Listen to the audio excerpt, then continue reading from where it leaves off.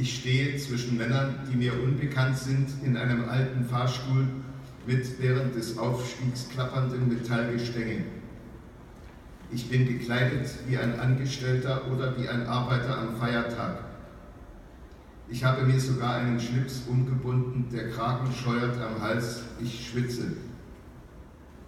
Wenn ich den Kopf bewege, schnürt mir der Kragen den Hals ein. Ich stehe zwischen Männern, die mir unbekannt Ich habe einen Termin beim Chef.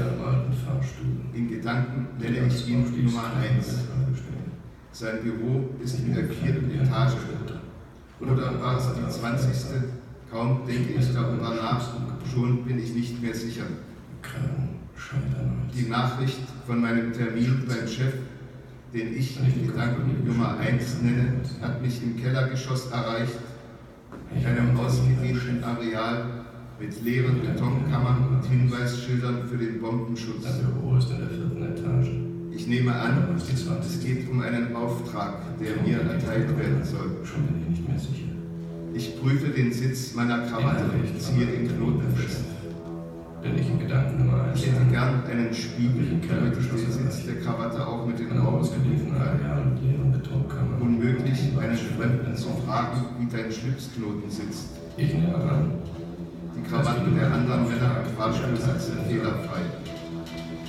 Einige von ihnen scheinen miteinander bekannt zu sein. Sie reden leise über etwas, wovon ich nichts verstehe. Immerhin muss ihr Gespräch nicht abgelenkt haben. Beim nächsten Halt lese ich auf dem Etagenanzeiger über der Fahrstuhltür an Streckenzahl 8. weit gefahren oder ich habe mehr als die Hälfte der Strecke noch vor mir. Entscheidend ist der Zeitfaktor. Fünf Minuten vor der Zeit